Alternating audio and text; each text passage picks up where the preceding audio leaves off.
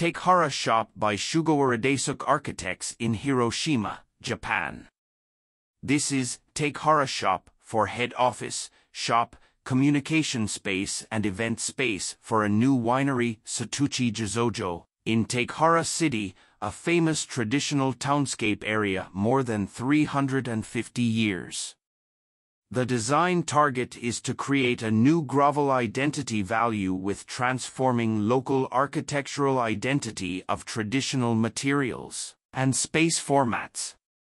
First renovation design emphasizes identity of the existing space more than 100 years history with bringing this space back. Original condition.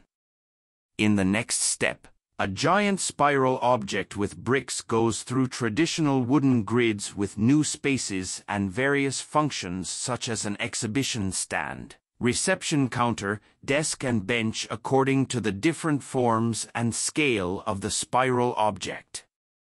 Wooden grid structure and red brick material are a local specialty composed with long regional history. The multi-function space is designed by integration of different local identity. This space shows us a design potential of local traditional materials and space format identity to generate new space value. From global point of view,